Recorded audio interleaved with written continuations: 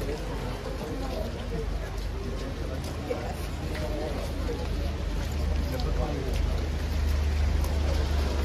uh, a very important building uh.